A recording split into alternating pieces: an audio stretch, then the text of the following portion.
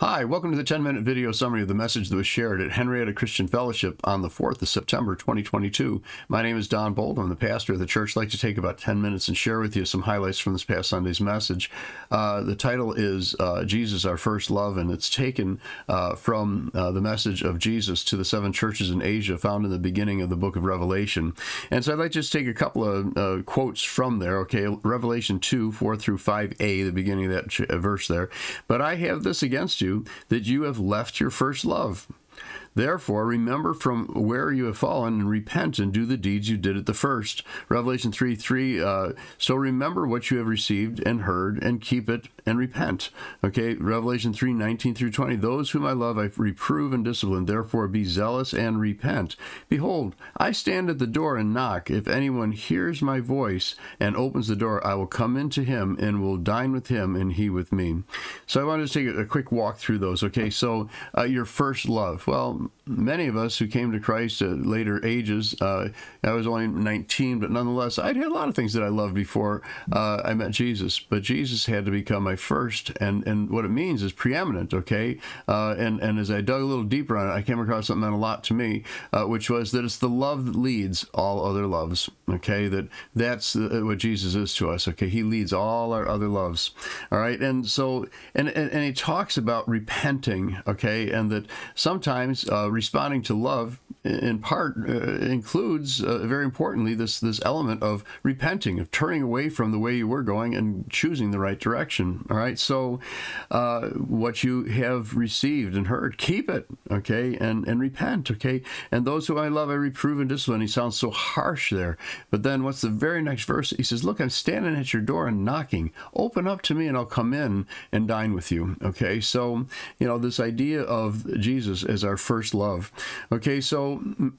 how do we go about making Jesus our first or preeminent love? Okay, and um, and so uh, you know, I just looked at some definitions and uh, means superior to or notable above all others, outstanding meaning this first, famous. You know, there's that one uh, song we sing about Jesus, you know, God being the famous one. I kind of was like, mm, like this, but then I realized that yeah, yeah, the, this this one that we love most is famous. All right, so anyways, um, those whom I love, I reprove and discipline, and again, just this warm invitation that you know that when uh, Jesus desires to correct us for something, it isn't, uh, you know, to, you know, be sent off to our rooms. Uh, it's to invite his presence. Okay. So, um, yeah. So uh, there's a song and I sang this to the congregation. I'll sing it to you. And uh, it just, I think for those of you who receive things musically more than just by words, uh, it's a song called Jesus, Lover of My Soul. And it's one of those songs from my early days in the Lord, but it's Jesus, Lover of my soul. Jesus, I will never let you go. You taken me from the miry clay, set my feet upon a rock, and now I know I love you. I need you. Though my world may fall, I'll never let you go. My Savior, my closest friend, and I will worship you until the very end. So this is the love we're talking about. This described in this song. You know, we recognize Jesus is the one who loves us. All right, and and it's it becomes the, the cry of our heart to, to love him back. Okay, so uh, you know, and I, I spent some time with with, with a, a pastor. I was just meeting him for the first time we went out to lunch together. And uh, anyways, at the end of lunch, as we were standing up to, to leave, he said, "Thank you for sharing your testimony with me." You know, and uh, and I realized, you know, that's that's kind of a habit of mine. If I'm meeting somebody for the first time and I know we're going to be getting to know each other, I really want them to understand who Jesus is to me. And so I, I, tend to just, you know, just naturally share that. And so I started realizing that, you know, because why do I do that? It's because, well, not because I want to put Jesus first, but because I don't think you really understand me very well unless you understand who Jesus is to me. Okay. So uh, a lot of what people look at as perhaps originating me it doesn't really originate me. It originates in Jesus. Okay. So, um, you know, we say this thing, and I've mentioned it before, that we talk about Jesus being worthy of all of our praise. Okay, so you know, Jesus, this one who's our, our first, our leading love. Okay, uh, you know, who who exactly is Jesus to us? All right, and you know, what does he, who is he to me? What what did he do uh, in my life? Okay, so uh, first of all, you know, I'm just to go through this. Uh, Jesus is the Son of God. He is God the Son. All right, uh, Jesus forgives sin as only God can. He remits our sins. He doesn't just accept our apology; he sends our sins away. All right, and uh, you know the the Pharisees hearing Jesus uh, say to a person that his sins were forgiven said, "Who can forgive sins but God only?"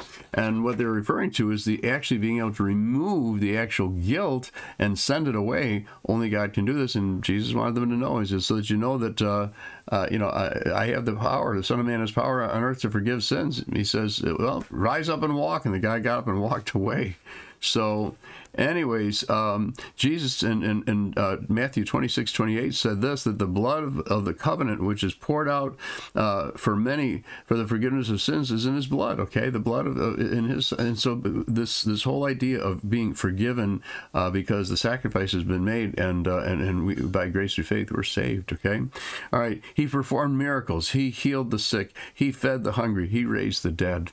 All right. Uh, he came and lived among us. Okay. God could, probably could have operated this whole thing from heaven if, if that was his will. But his will was to come and dwell among us. And it says in John 1.14 that the word was made flesh and dwelt among us. All right. So he shed his blood and died to pay the penalty of our, for our sins. This is the one who is our first love, the, the love that leads us. First Peter 1, 18, 19, and 19.